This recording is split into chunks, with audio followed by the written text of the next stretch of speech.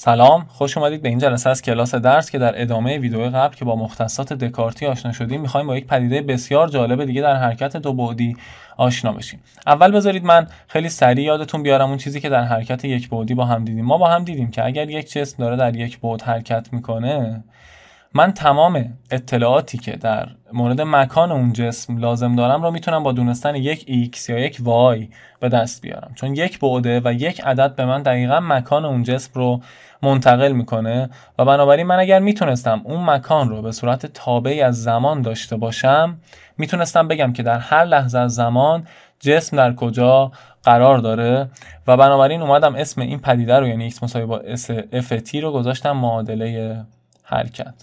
به همین ترتیب وقتی که حرکت دو بعدی ما داریم من می‌تونم یک معادله حرکت تعریف بکنم اما طبق چیزی که در جلسه قبل با هم دیدیم در مختصات دکارتی شما برای دونستن اطلاعات کامل یک نقطه نیاز دارید که دو تا اطلاعات از اون نقطه داشته باشید. یکی معلفه xش و یکی دیگه معلفه yش چون حرکت دو بعدیه دیگه یعنی در یک بعدی شما یک نقطه نیاز دارید بدونید. فقط یک بعد رو در دو بعدی دو بعد رو. و اگر حرکت سه بعدی هم تعریف بکنید باز هم به همین شکل شما نیاز دارید که سه بعد رو بدونید تا بتونید معادله حرکت اون جسم رو شکل بدید. بنابراین اگر من بتونم x و y رو به صورت تابعی از زمان داشته باشم. به نحوی که بتونم بگم x هست یک تابع f از زمان یعنی x معلفه x ماشین من داره به این شکل تغییر می‌کنه و معلفه yش هم داره به یک شکل دیگه ای تغییر می‌کنه یعنی من به صورت تابعی از زمان هم x و هم y رو تغییر بدونم چی هست. در این صورت معادله حرکت دو بعدی جسمم رو به صورت کامل دارم و این به این معنیه که من در هر لحظه از زمان می‌تونم مشخص بکنم که جسم من در مختصات دکارتی در حقیقت در فضایی که تعریف کردم دقیقا در کدوم نقطه قرار داره. بذارید با هم یک مثال حل بکنیم که یه مقدار این قضیه واضحتر بشه. فرض بکنید که این مختصات دکارتی من هست یعنی این شکل. و فرض بکنید که به شما گفته شده که پس این محور وای ها و این محور x ها و به شما گفته شده که مختصات یعنی x به صورت تابعی از زمان برابر هست با 10 t و y به صورت تابعی از زمان برابر هست با منفی 5 t به توان 2 حالا از شما می‌پرسن که مختصات این جسم رو در ثانیه اول بگید چی هست؟ یعنی در تی مساوی با یک این جسم کجا قرار داره؟ خب با دونستن این که معادله حرکت دو بعدی جسم هست یعنی مختصات x و y هر دو رو به صورت تابعی از زمان به صورت دقیق مشخص می‌کنه. شما به راحتی می‌تونید مکان این جسم رو در تی مساوی با یک به دست بیارید. چرا؟ چون در تی مساوی با یک x من مساوی میشه با 10 و y من مساوی میشه با منفی 5 بنابراین x تقریبا یه همچین جایی مثلا y تقریبا یک همچین جایی خواهد بود.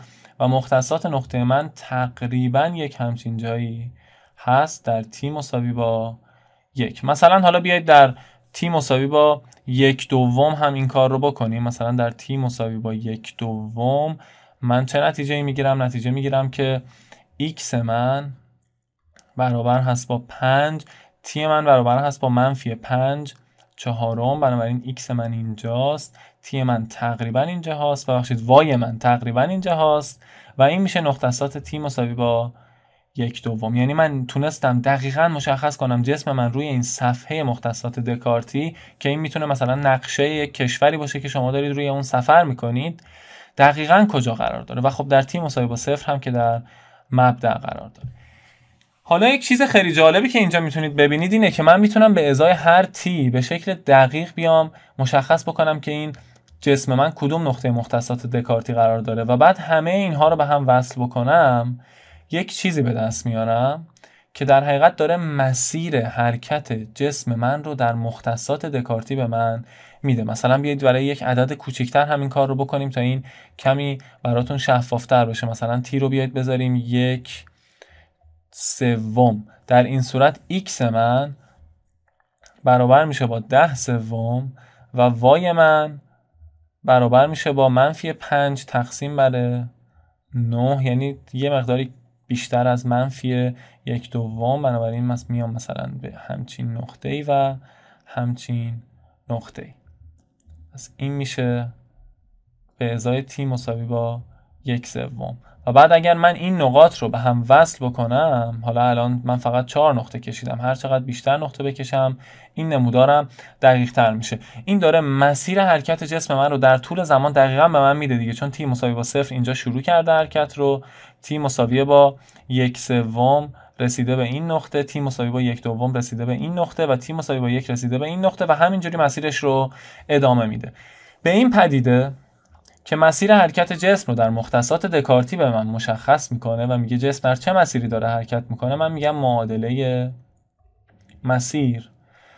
و من به طرز خیلی جالبی می‌تونم معادله مسیر رو از معادله حرکت به دست بیارم. پس چیزی که الان می‌خوایم ما هم یاد بگیریم به دست آوردن معادله مسیر از معادله حرکتی هست که اینجا به شما داده شده. من روی یک مثال به دست میارم. شما از این مثال قطعا می‌تونید هر مثال دیگه که بهتون بدن رو حل بکنید و از معادله حرکت معادله مسیر رو به دست بیارید.